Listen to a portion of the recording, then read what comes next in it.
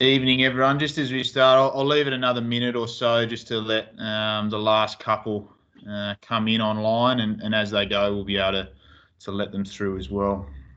Uh, as, as everyone's coming on, same as same as the other weeks. If we can just get you to turn your microphones on mute um, and uh, your cameras off, that'd be great. Uh, once once I've given a little spiel at the start as well, I'll, I'll put the uh, Slido um, information into the thing. So if you've got a question for Adam or Jodie, you can you can put it in there, um, and Jay will be able to address those at the back end of the meeting.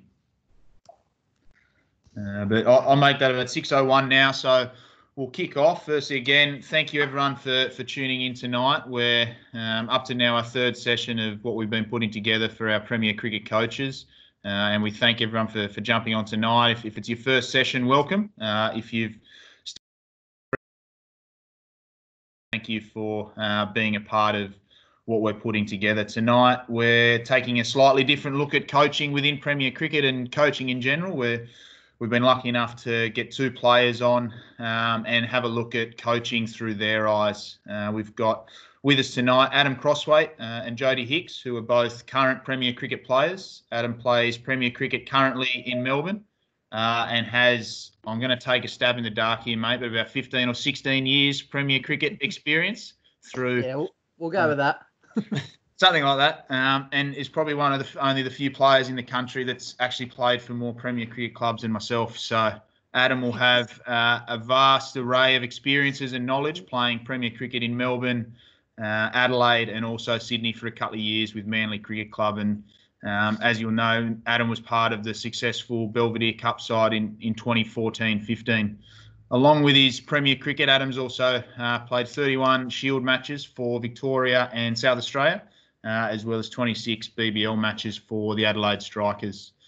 Um, and with Adam, we've got Jodie, who plays her Premier Cricket for Sydney Cricket Club, the Mighty Tigers uh, in Sydney, uh, who was also part of their uh, they didn't get the chance to win the title in a final, unfortunately, this year, but were crowned premiers uh, in the women's first grade comp in Sydney in 2019 20, uh, with the season unfortunately cut short uh, due to COVID 19. Jodie takes uh, the phrase elite athlete to a bit of a different meaning. for those of you who don't know, Jodie combines her time being a WBBL cricketer with the Sydney Sixers and also dabbles in a bit of uh, AFL as well, playing for the GWS Giants in the AFLW competition. Um, so when it comes to elite sport, playing it uh, in two separate ones in at professional level is an, is, is an exceptional story. Uh, and no doubt there's a couple of good coaching stories uh, in there as well, and, and, coaches that have had an effect both on Jodie and also uh, Adam as well, and experiences they've had in Premier Cricket. Uh, as we did last week, we've also got Jay Lenton, who's our coach and talent specialist for Southeast Sydney. Uh, we'll be uh, interviewing both Jodie and Adam. And Jay was also part of that successful side uh, in Manly in 2014 15, and again has a number of years of Premier Cricket experience to touch on uh, with speaking to everyone tonight. So, again, thank you very much to both Adam and Jodie for their time this evening. Um, for those of you who uh, aren't aware of what we've done before, you'll have the opportunity to ask questions uh, to both Adam and Jodie. I'll, I'll, put the information for that in the chat function we've got here, but we'll use the Slido website and you'll have the option to either type in a question for them or if there's some, a question there that uh, has already been asked, please feel free to, to like it. But I'll pass over to Jay. Um, thank you for joining us and enjoy the evening. Thanks, Billsy. Um, yeah, as as Nick's just alluded to, so some pretty amazing and very talented people on the line with me tonight. Um, Billsy was also part of the 14-15 Manly Premiership. I thought I'd get that out of the way first, just so we we will talk about it tonight, definitely, because it does come in with the topic we would like to talk about. But I know Adam and I could probably talk about that uh, that premiership for quite some time, but we'll steer clear as much as we can. But as mentioned, two two amazingly talented athletes on tonight uh, Jodes, both with with cricket and, and, with AFL, and obviously all the wealth of experience that Adam has playing cricket all across the country. So, as mentioned, the topic tonight's a player's perspective and and what they've seen or what you guys have seen in coaches and what coaches' characteristics work best. Uh, we will touch on that. We will get to it. But firstly, I want to ask you guys we've just talked about your bias. So give us a little bit of a, a backstory to that. And and Jodes, I'll start with you. I, I, th- I, thought originally you were from Hay, but you told me five minutes ago you're from Shepparton in Victoria. So I'm still listening and learning as well. So Jodes, if you don't mind, give us a bit of a background about your cricket history, where you're from, and, and where you are now. Yeah, so I'm originally from near Shepparton. I wouldn't quite say Shepparton. Apologies, but, um, Victoria. nah, Shepparton's a different thing. um, yeah, so then moved to Hay when I was in year three. Um, went to a public school at the um, Hay Public School and had fortunate enough I had a really good PE teacher who was a female and she had twin daughters also. I'm a twin, and they were really good at sport. And um, Kate and I, my twin, we were really good at sport. So she, uh, Rachel and Megan, who were her twin daughters, they played cricket also when they were growing up. So then she was like, "How come Kate and Jodie should have a go at cricket?" And I tried out for the Riverina PSSA team when I was in year five, and I was lucky enough to make it. And so were most kids who were just talented enough at the time, didn't really know much about cricket. Um, so yeah, it started at PSSA, and then yeah, just went on from there. I went down to the local nets and trained with the boys. Um, that was pretty hard at the start. I think we were the only girls to train with them ever in Hay. Like it never happened before. So just breaking barriers there at the start, and then I just kept playing cricket. I was fortunate enough to have a cricket coach that was really passionate about cricket. Um, he did it for free. He'd get me in every week, every day, just training, always telling me to have a high elbow, get forward, just all the good stuff when you learn in country sure cricket. It wasn't Adam. no, it could have been. No, Adam's a bit younger than this bloke. um, yeah, and then I just I think being quite a handy athlete in the field, um, I was an all rounder growing up. So that sort of got me into sides. I was always sort of in the side of about 10 or 11. I think that always got me across the line. Um, I made the, oh yeah, I was playing for, when I made it to high school, I started playing in the CHS team also. And then I didn't make the New South Wales Opens team in under 15. So I ended up going over to Canberra because I'm from Hay. Well, I moved to Hay, and because it's so far away, it was seven and a half, eight hours from Sydney. I ended up training with Canberra because it was a lot closer. Um, and then yeah, I got picked up by the ACT Meteors who play in the WNCL League when I was 18. So when I left school, I moved straight to Canberra and lived there by myself, which I thought was a massive city at the time. um, not really, like you can hear kangaroo in the middle of the city, so that was a bit weird. Um, played there for two years. Unfortunately, got delisted. Also got signed for the um, Sixers in the WBBL. Also when I was 18, so I was still playing with them. Have been currently playing for them for five, six years now, and we're a pretty successful franchise, which is really nice. Um, yeah, that's it. That's uh, it's an amazing journey, and it's uh, there's a couple of things in there I'll, I'll, touch on a little bit later. You've mentioned two coaches already that have had an impact on you just within your story. So we will come back to that a little bit later. But from a, a, a country girl, Adam, to a very city slicker boy, give us give us your your upbringing and your your journey through cricket and where you've gone. I think firstly, I think Jodie's pretty much playing out my boyhood dream of playing AFL footy and uh, and cricket. So I'm very jealous. I think that was growing up was a bit of uh, that, that was my passion was AFL and cricket in the summer. So um, very jealous, Jodie. Well done. Um, I said it. I said it could always be done. Just the boys just don't have, just not good enough. So uh, yeah, look, I, I grew up.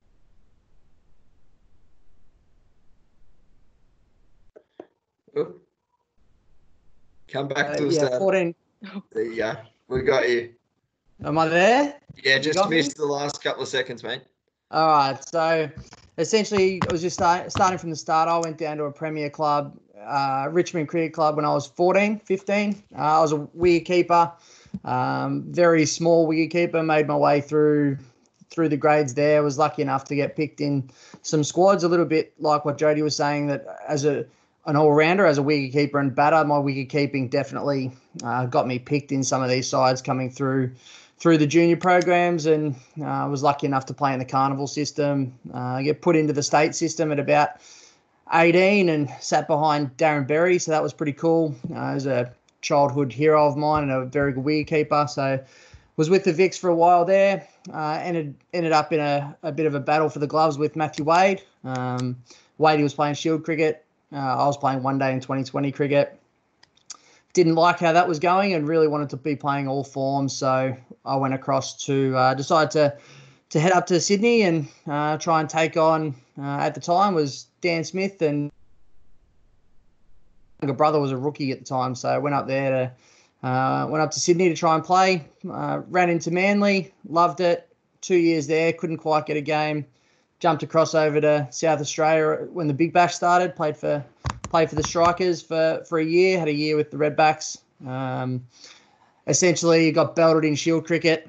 Uh, we won the one day comp, which was awesome, but got belted in the Shield and they went on a rebuilding phase, and young Alex Carey was pushing through. So um, yeah, I went back to Sydney, uh, played another five or six years with Manly, and uh, a year with North Sydney, and then decided to uh, yeah, for family reasons, to come back to to Melbourne, and that's what I did last year, and takes us up. I'm playing at St Kilda Cricket Club now, so uh, yeah, all up, I've gone Richmond, Manly, West Torrens in in uh, Adelaide.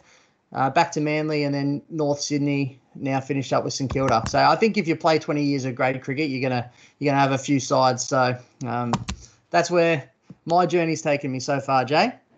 Well, Billsy did mention 14 or 15 years, and you've just given yourself 20. So I will stay with you for a second, mate. You, you've mentioned you have mentioned all of those premier clubs and and it's a wonderful both both stories are wonderful stories and the the journey i guess to get to the top level of cricket is is completely different there but both made sacrifices, both moved interstate or, or to the big city, as, as Jodie said. So you've seen a variety of premier clubs, Crossy. What what makes them successful? What what is it about premier clubs that have succeeded that, that really puts them in at the top of the league? Yeah, look, I think the biggest thing when it comes to a club is its culture.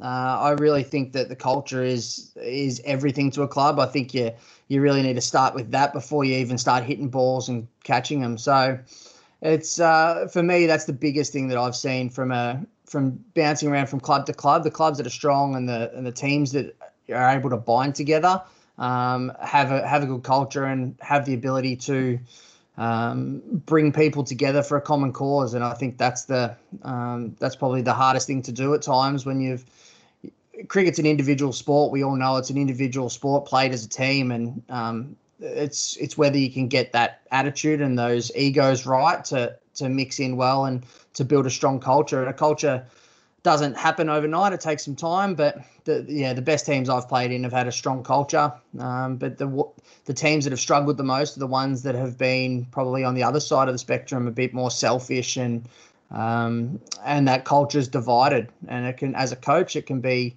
really hard to to deal with that and to, to build that. And it doesn't happen overnight. And it's got to be really, it has to be at the forefront of your mind when you're coaching a club, in my opinion. So I'll stick with you for a second, Adam. You, you mentioned there, and, and obviously we've had chats personally about it before, and I hope you don't mind me bringing this up here, but you played in a couple of Victorian teams, which you've mentioned were some of the best teams you've ever played in, but didn't necessarily get along uh, as, as good as other teams have or other clubs that you've played in reason why you succeeded uh, in that space?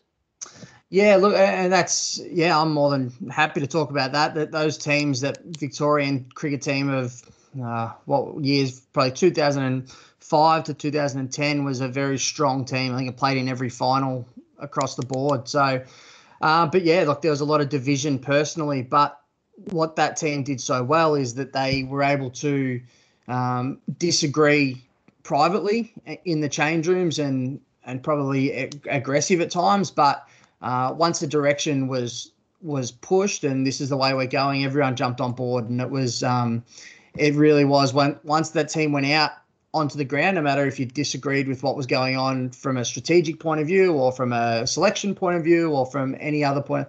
That, that group was a strong enough group, and the individuals in that side were were strong enough to to to drive that home, and that was it was an adversarial culture, but it, it, was yeah they weren't the best of mates. Like training sessions, they blokes would get bumped, blokes would you'd be swearing at each other, and, and it wasn't harmonious by any means. But Um, I think the individuals and the leadership around those groups were so good that they were able to bring that team together. Uh, I always talk about the third man in, and a lot of the time as coaches, I think we we concentrate on the captain, but I think when I talk about the third man in, it's that that either the other veteran or your vice captain, or sometimes it could be the young guy coming through. That the third man in is the guy that is another voice that, as coaches and as a captain, sometimes we we seem to be always the bad guy, um, and you're always the one that's sort of telling, setting the direction and showing the way to go. Having a strong group of next leaders that buy into that leadership group, as we is sort of fashionable these days to have a leadership group, but it's those guys that are so important to to building that culture. So it's not you don't have the captain and the coach sitting up here always feeling like they're being negative and telling players how to do things or what they've done wrong. You have a bit more of a broader range, and that's that's I think is a start when you're looking to start how to build a culture, uh, making sure you've got that group of players all bought in and all bought in underneath that captain and underneath that coach.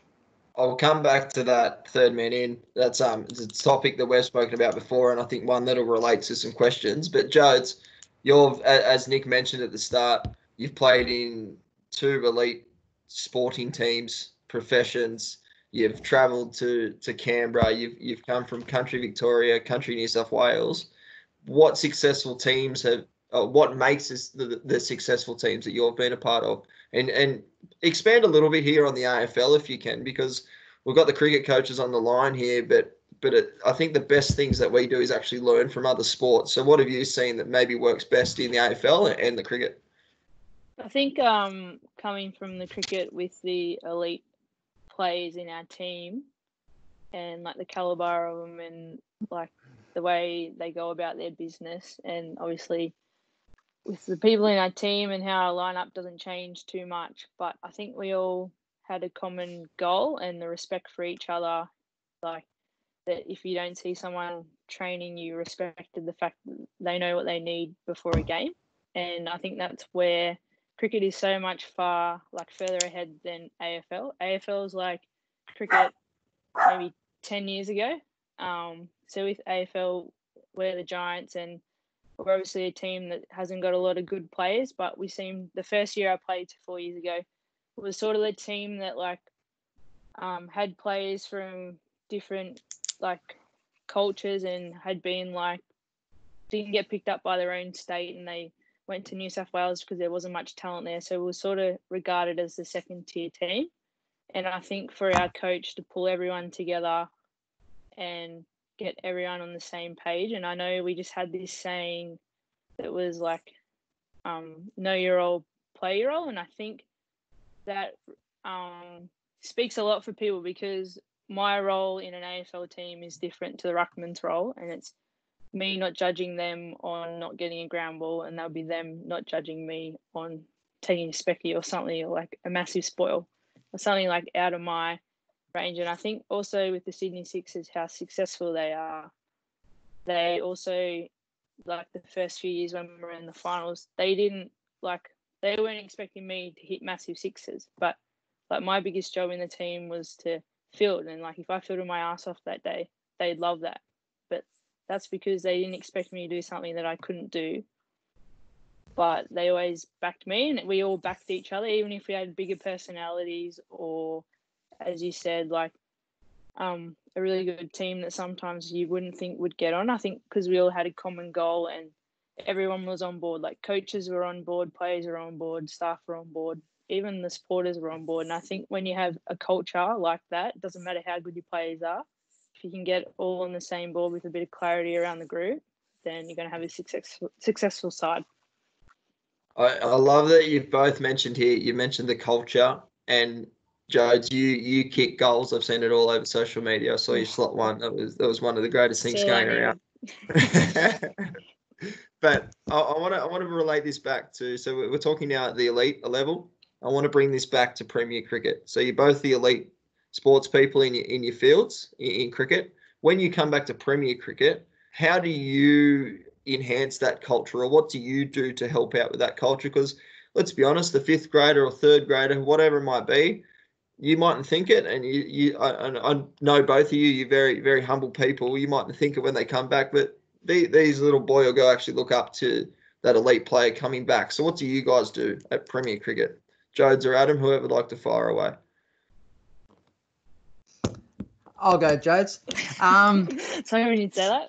I know. So uh, no, look, I, I think it, you're right, Jay. I think when you get um, state players coming back uh, into Premier Cricket, it's really important because I, I, remember as a youngster when the state state players would come back and playing fourth and fifth grade, you, you would I'd be petrified. Let's be honest, I was petrified of going anywhere near a first grader when I was a fourth grader. Um, but look, I think it's it's a really important point that those senior players and those state players are able to come back.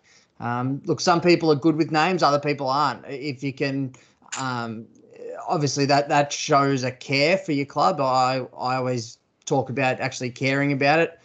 Sometimes it's hard to get to get those elite players to care about what's happening at the club, but I think a lot of the time it's just having these conversations and having the conversation say, hey, look, I really love you to spend half an hour in the fourth grade net and speak to our young spinners. So we, we've had uh, at Manly, like you talk, Steve O'Keefe's been playing for New South Wales for so long, but he'd come down to Manly training and would spend time with the spinners, and and that to a young spinner, it was just it was elite. Um, like Chris Green's down there, and when Jay comes back, yourself comes back and and work with the young wicket keepers, it just means so much. And but I think as a coach, you actually need to set the table for that because it's quite easy for these state players to walk back into training and just to sit there and and stand at the top of the mark or hit a couple of fielding drills and just be there.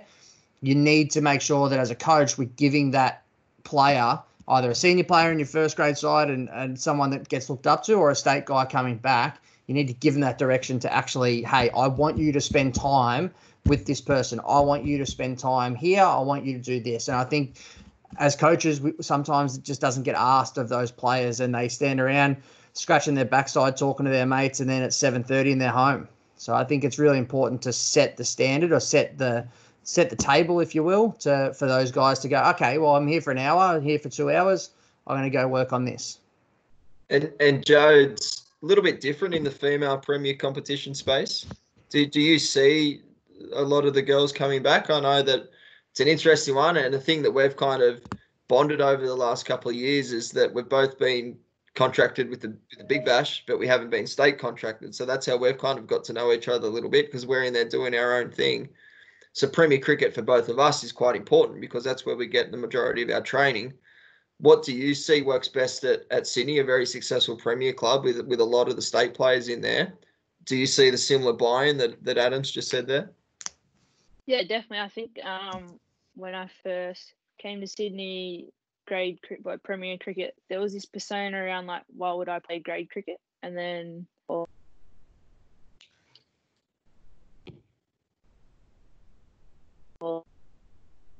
like, I think we're just losing you a little bit there, Joe. Sorry. Mine, or you're like, oh, I'll play if I have to, like that sort of vibe there. Yep, got you now. Yeah. Yep. Um, I think well, well, this year we had Jenny Gunn who used to play cricket for England, and she's such an experienced player. And I remember playing on the field with her, and she was just she wasn't really telling the bowlers what to do, and because she's a bowler herself, she was up.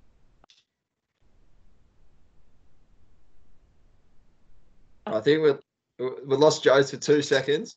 I, I, I want to come back to that. So Joe's doing and I think that's a experienced girl there. Yeah, no, okay, we're, we're getting you back.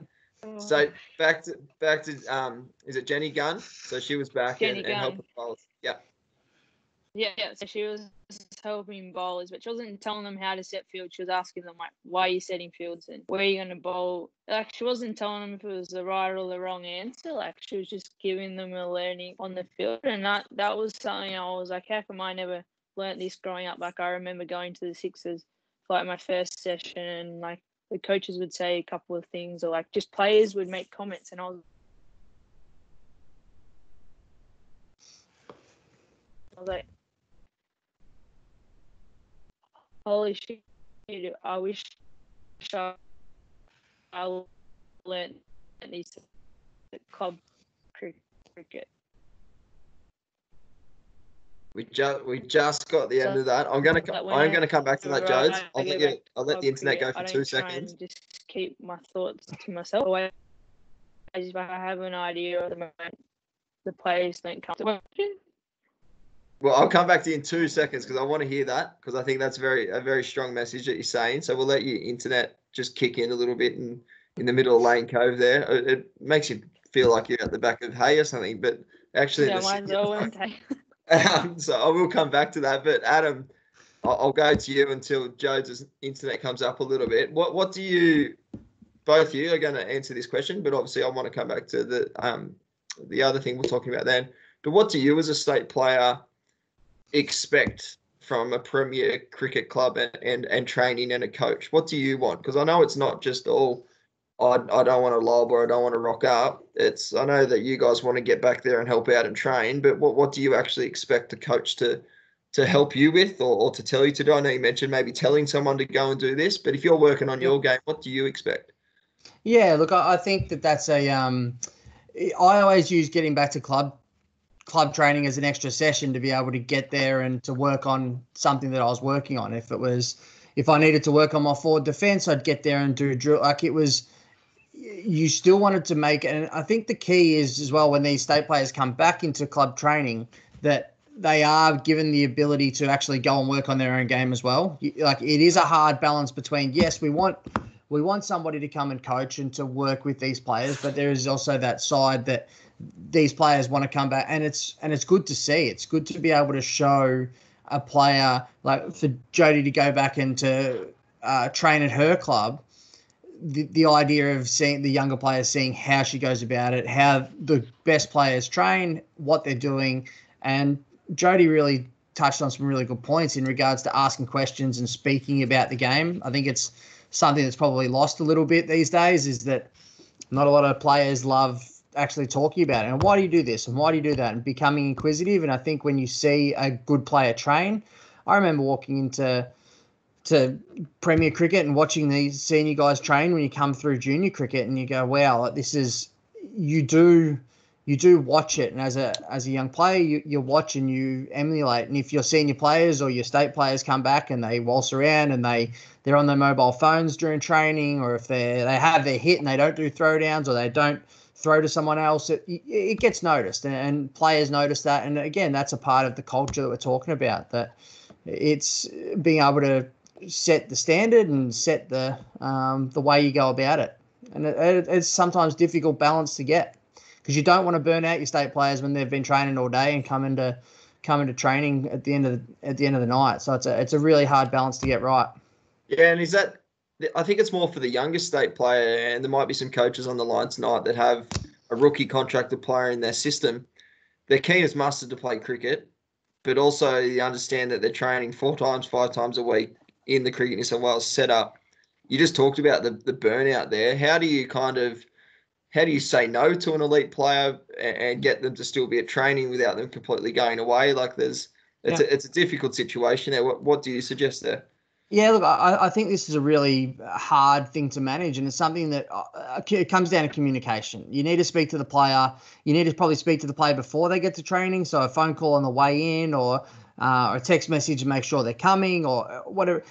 Don't be afraid of giving these players a night off as well. Like it's fine for them not to come or to to rock up for for dinner afterwards, whatever it is, but when they're there, the, the burnout factor is a is a big thing. You don't want it to become a chore that they've got. Oh, I've got to go to club training, or oh, I've got to play on Saturday. Like you don't want that. You want it to be enjoyable. So you've got to make sure that it's not always take, take, take. That we've got to give back to that player and to to make sure that you're working with him. And and a lot of this just comes down to communication. Communicating with, especially if you've got a young bowler, how much have they been bowling? Like how much have they been doing at the nets? Like have they been hitting balls for four hours that day?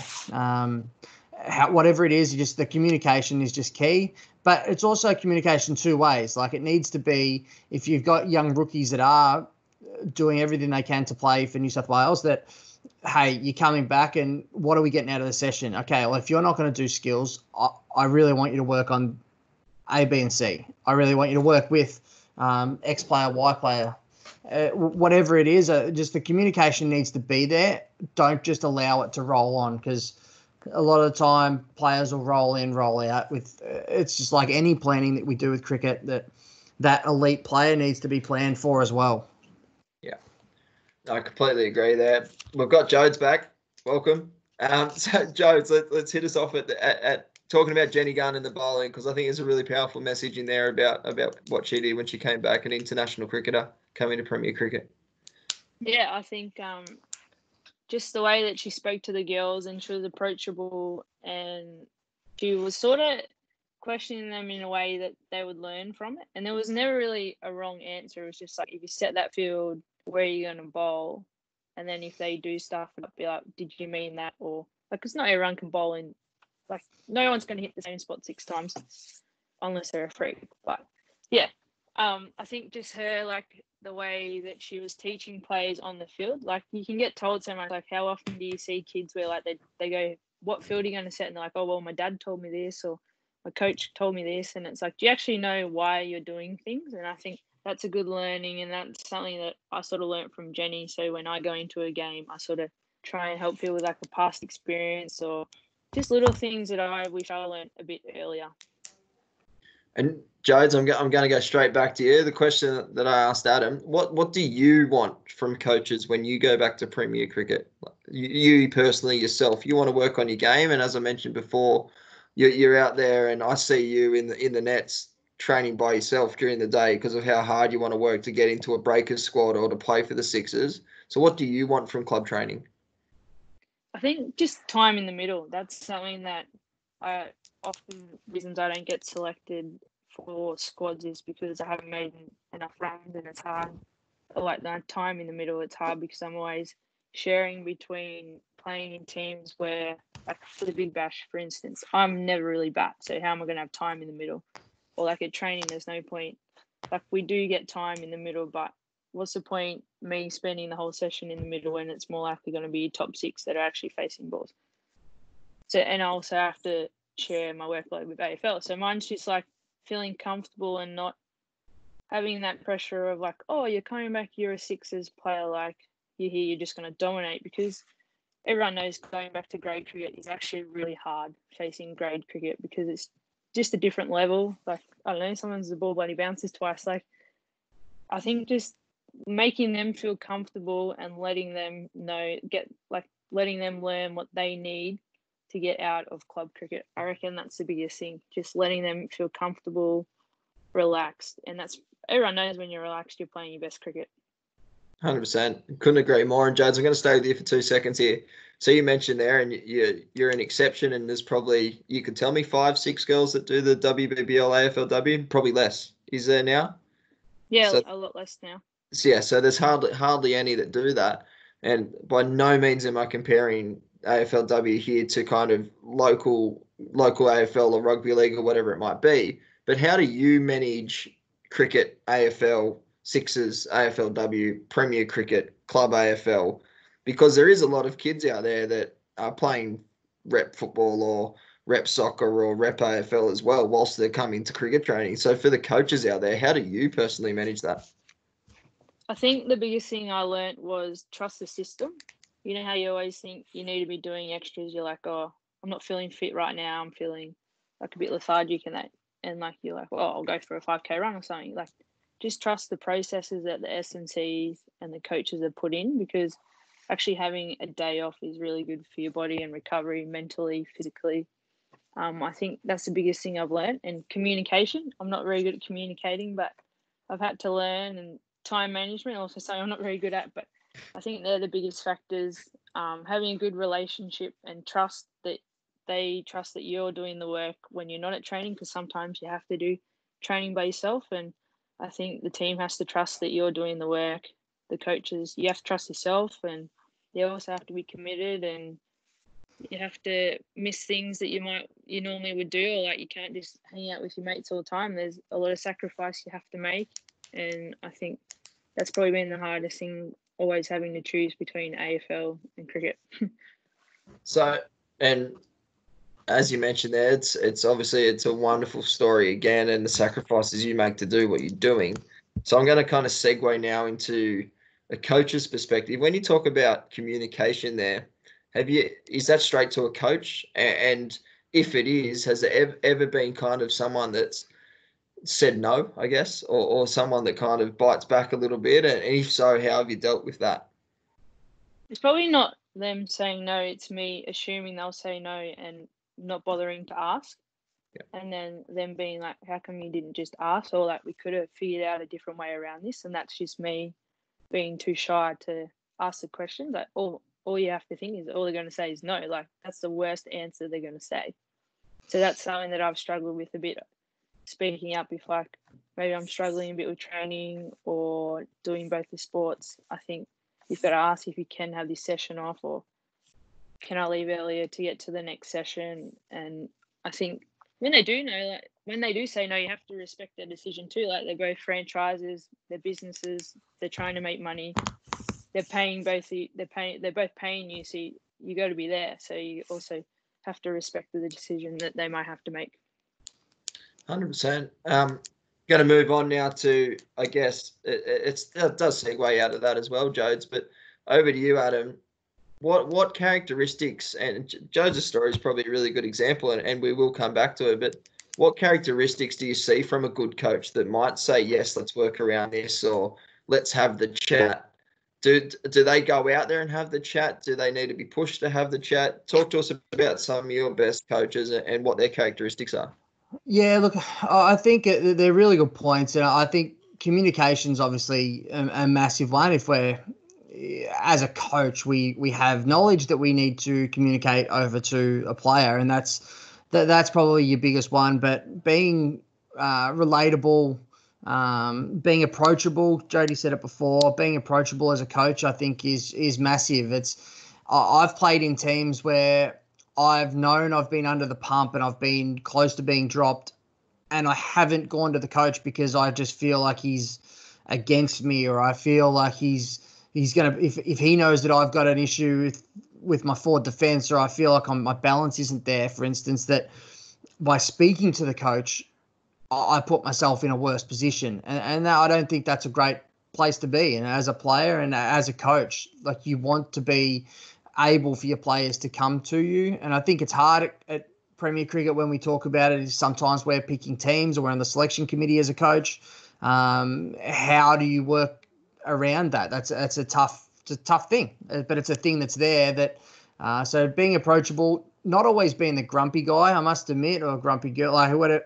I think the coaches get a bit of a um, uh, we get a bit of a bad rap because we're always the ones that are giving direction and speaking. I think it's a really hard balance to be firm at times, but also picking and choosing when you when you lose your mind and when you when you raise your voice or when you like it's it's hard because you see I, I find AFL coaches very funny where you see them a full head of hair before they're uh, full head of coloured hair before they become a coach, and it, it's grey very quickly with the stress and the the anger that happens. But um, but I, I think there's a lot to be said for that. Like I think we've got to understand as coaches that players make mistakes and it's okay. Like as soon as we understand as players that it, it's okay to make a mistake, you become uh, you start to have build a relationship with that player as a coach. It's like, hey, we've all hit one down deep in wicket's throat. Yep, We've all tried to clear long on and we haven't done it. Yep. We've all tried to dash away from a cover drive and nicked it to second slip. Every one of us has done it. It's um it's being able to to teach and communicate to the, those players. I think that they're they're my biggest one. Being calm, being re- relatable, approachable. Um, they're, they're I think the biggest ones. I'm going to take you back down memory lane a little bit here, Crossy, but go back to 15, 16, 17 year old Adam Crosthwaite. You're obviously a very talented kid. You're playing seconds, you're playing some first grade around that time and interstate cricket when you're 18. When you've gone to Richmond, what was it about the coach that may have really stuck out that made you stay there? Or what do you think you would have liked to hear as a 14, 15 year old? Because in the female game, there's obviously a lot of younger players coming in. They might be a little bit shy to talk to an adult. What what do you feel like you needed, or you would have liked, or what happened?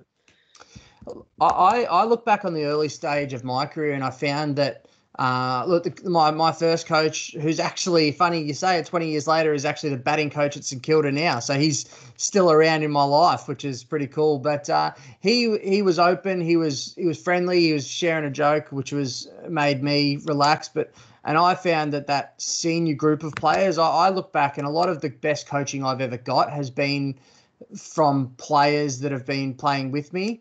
Uh, and I think that the best coaches that I've had have been able to work with those senior players to work like they haven't been threatened by other people telling a player what another player something like having a conversation. It's a sometimes i think when we you see dictatorship type coaches that it's this is the only way that can be done and this is the way we do it because this is what we did back in my day.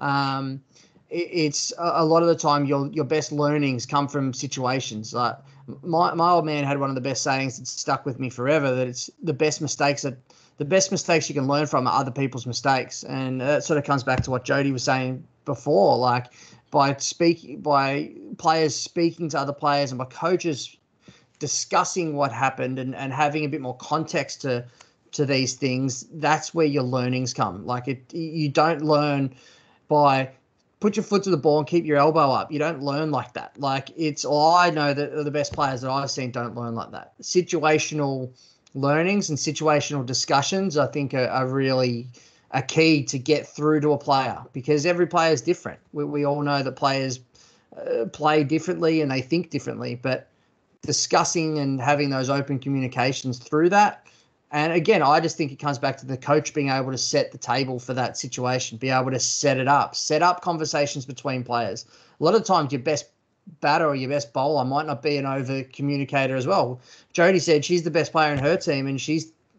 I'm I'm saying that Jodie's the best player in her team, but Jodie said she's not a great communicator. But sometimes the the coach needs to set the table to set a player A up with player B to discuss it and to talk about it, and you need a little bit of a a pin because we know how much well, I can hear already how much knowledge that Jodie has that should be able to have those conversations with those other players. And that's as a coach, sometimes our our biggest strength is to be able to use what's around us rather than always blowing the whistle and yelling at people.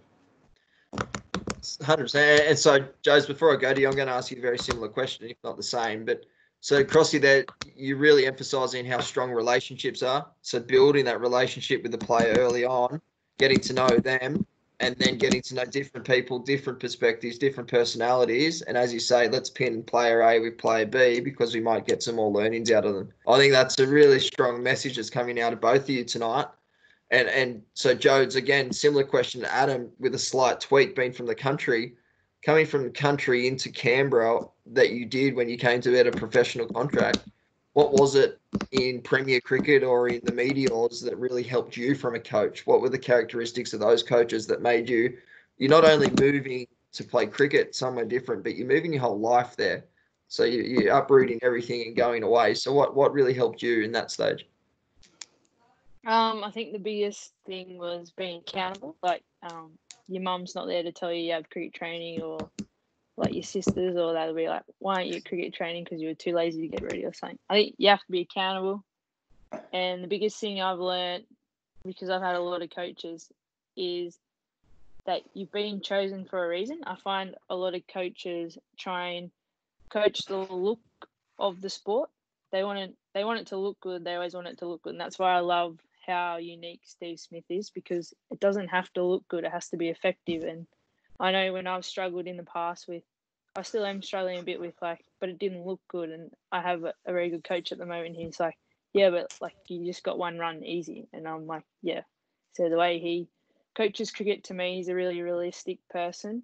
And um, I think also in AFL, you while like you've been selected when you're 18 for some talents that you have, why would you try and coach what they're originally good at and change it to something that you want that works for you, but you might be say six foot something and I'm only five foot, so it's not going to work for me. Like everyone has their own unique way of playing, and I think, as Adam said, like everyone's different. That's why sport's so good. If everyone was the same, it'd be boring. You'd just feel like watching a Lego movie or something. I don't know, something stupid like that. um, yeah, I think just and if you're always telling someone something's wrong with their technique, they're going to start second guessing themselves. Especially like the older you get, like you basically just keep the things that make you happy when you're batting, like your natural bat bat path or the way that you play certain shots is why you're in the team in the first place. And I think that's something you have to reiterate a lot with players. Like they might need changing technically, but I think trying to turn every player and coach is saying, but this is how I coach it, and this is how I do it. It's like, well, well done, but you're not playing anymore, are you? Like, I think you have to be able to communicate with the player and both, I think, um, agree on a technique that's in the middle that they're satisfied with. Yeah, it's um some absolute pieces of gold nuggets there, Jodes, and and as as Adam did say, like it's you've you've mentioned before that you probably your strong point isn't communication, but just through the last 30 seconds there, I've learned so much about what your thought process are going into cricket and, and AFL and how a coach, if a coach gets that out of you and goes, well, hey, Jodes, go, go to the 15, 16 year old girl that's moved from the country because you share a similar story, they might open up to you and therefore get the best cricket out of you. So I think some really, really powerful messages there from, from both of you. I'm going to ask a couple more questions. We've got a couple of questions that have come in from everyone that's on the line. One thing, and yes, Adam, we will talk about the 14 15 Manly Premiership soon. But what, so give it, give us, you mentioned, Jodes mentioned a school teacher back in the day that really stands out and a coach during your upbringing. Adam, give us one coach that really stands out and what really stands them out from everyone else. Yeah, look, uh, to be honest, I, I've had some really, really good coaches over my life, which has been, which I've been lucky with. Um, the two that probably stand out the most would be Greg Shipperd and Shaun Bradstreet. Um, probably my two longest coaches. Um, Greg Shipperd was, I think, we know that he's how good he is and he's amazing. But Shaun Bradstreet was coach of Manly for a long time, and um, he's probably the the most personable, uh, the one that you felt cared the most. Um, he was the one that was really you, you knew he was in your corner. Um, I, I, think as a coach, if we if your players are if your player gets nervous when he when you come to his net to watch them bat, you know that there's something there's something wrong when when when conversations will stop when the coach rocks up.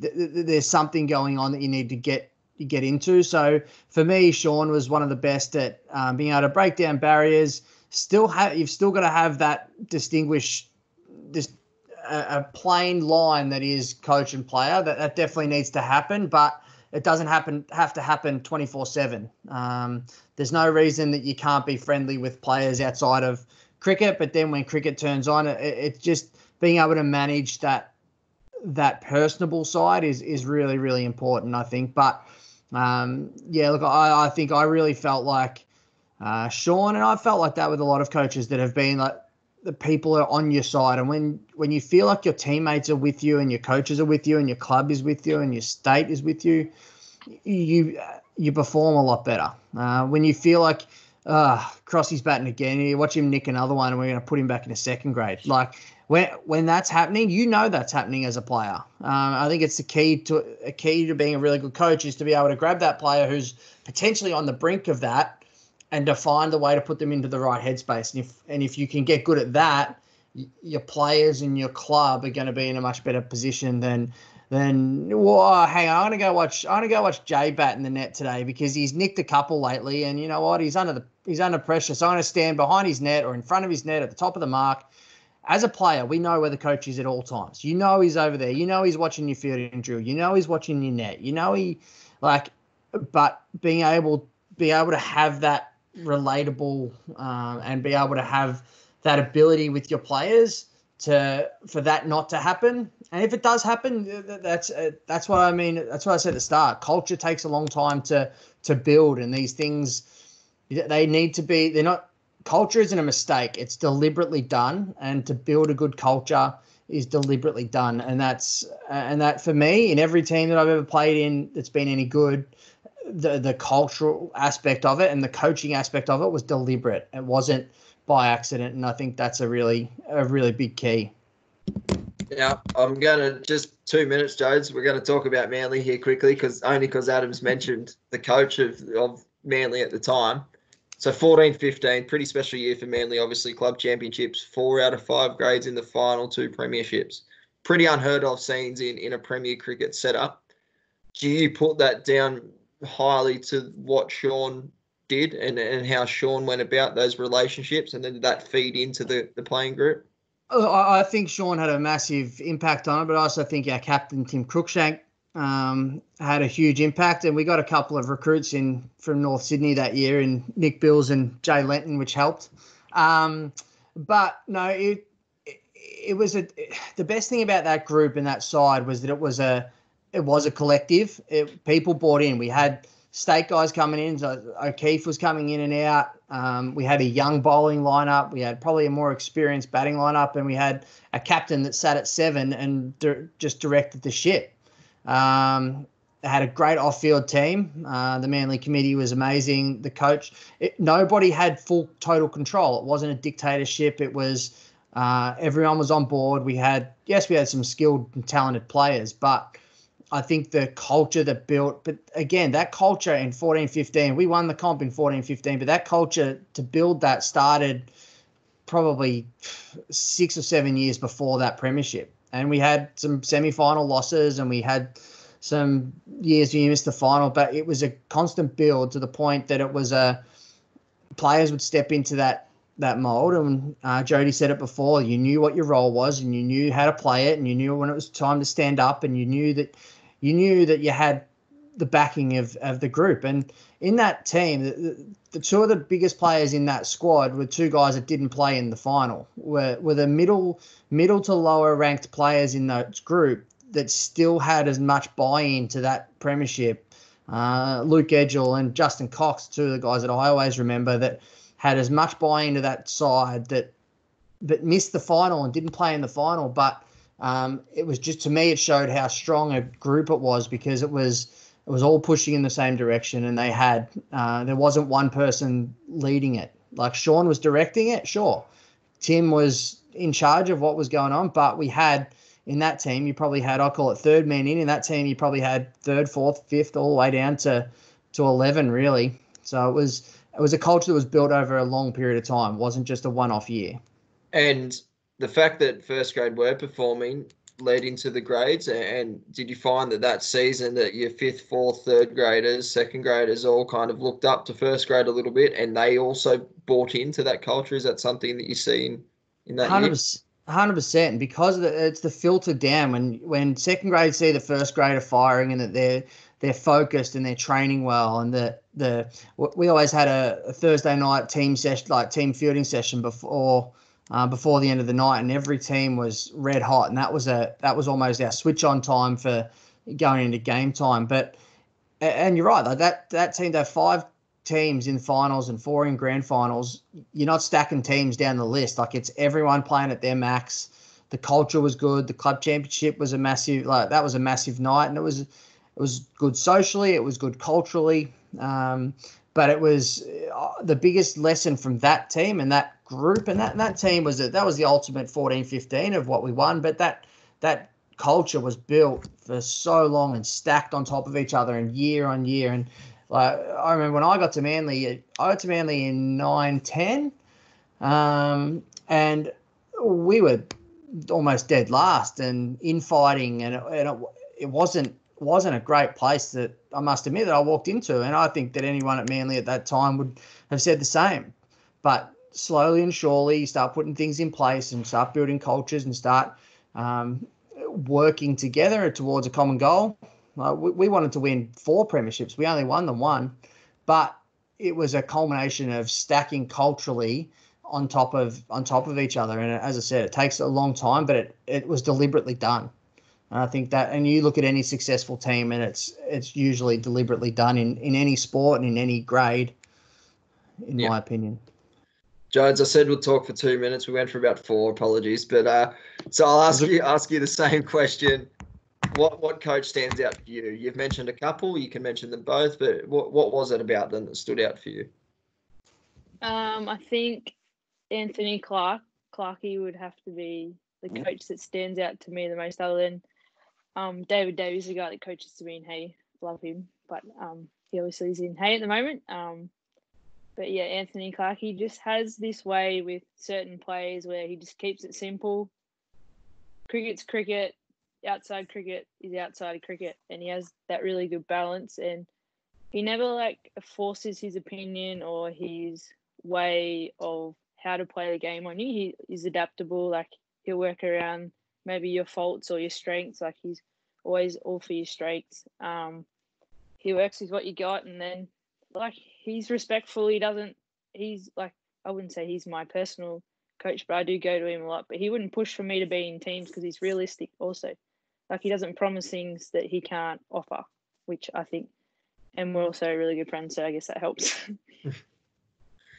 That's outstanding. And look, we've got a couple of questions from the guys that are on the line. So we will we'll finish up with with those tonight and very curious of people's times and I think we could talk for another hour if we wanted to. There's been some wonderful things. I've written a lot of things down. I hope everyone else out there has. But um, so a couple of questions that have come in. We, we've probably touched on it a little bit, but if you can probably rephrase it, what is one of the best pieces of advice that a coach has given you? Adam, know you mentioned a couple, so have you got one that stands out for you? Um, yeah, the, the best piece of advice is there's a lot, but um, I, I think the best piece of advice that I've been given is just enjoy the game. The game was meant to be a game. Make sure you enjoy the game.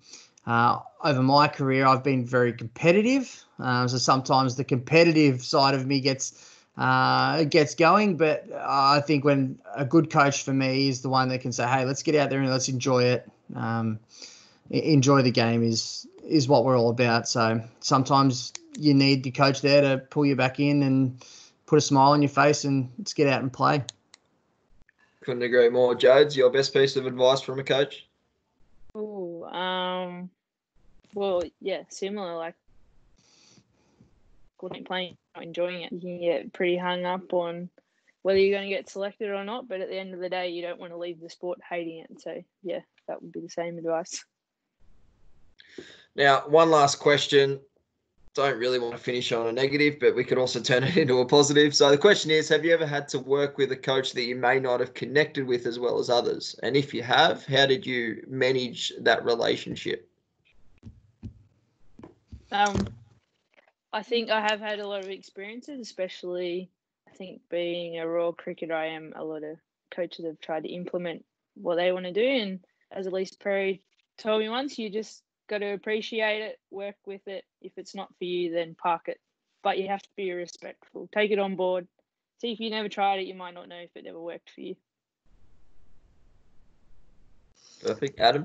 Awesome. Um, yeah, look, I've definitely had coaches that I've um, I've had, I've struggled with, um, but a, lot of time, a lot of time, you do have to work with them, and a lot of that comes down to actually having the conversation and being one thing I think that's probably helped me in my career is I've been willing to sit down with people that, you know what, I don't agree with what you're saying.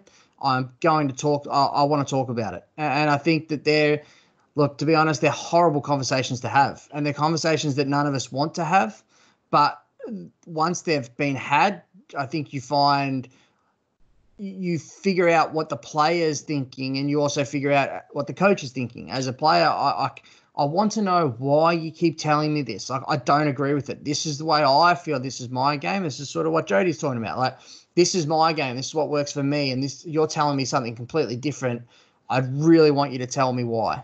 Um, and they're horrible conversations to have, but they've got to be had. And if you don't have them, you're not doing yourself any favors. You're not doing the player any favors, and the player's not doing the club any favors.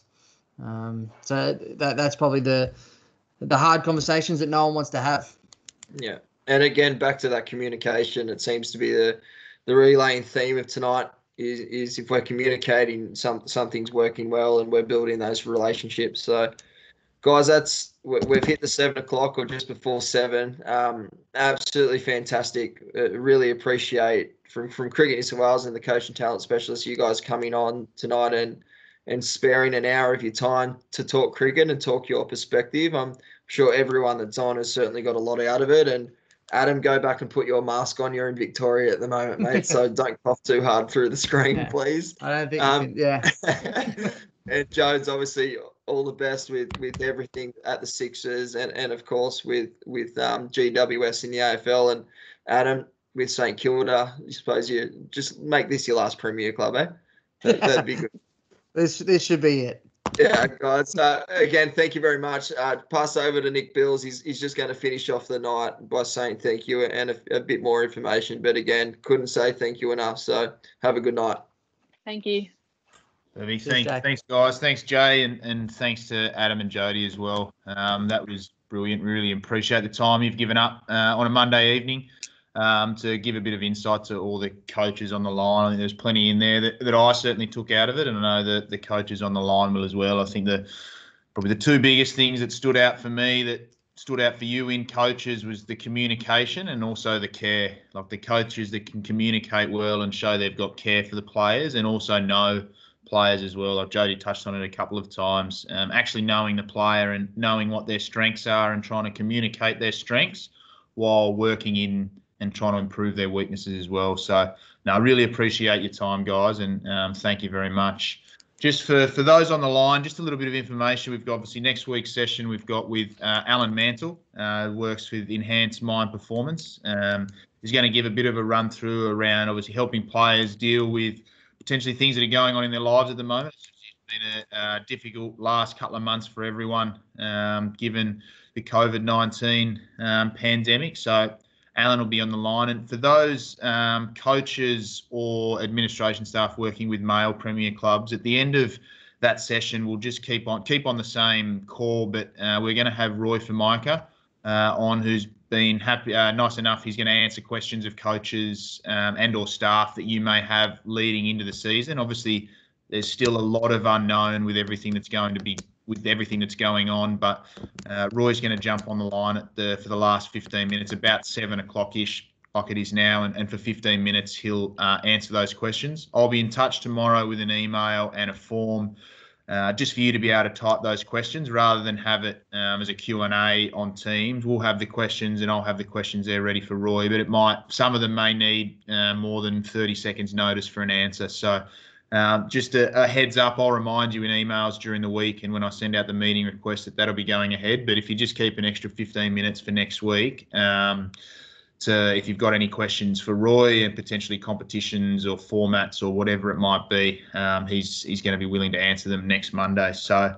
Um, without any further ado, thank you again, guys. Much appreciated. Um, everyone, have a great night. Have a great rest of the week, and we, I look forward to catching up with you uh, this time next Monday. Perfect. Thanks, guys.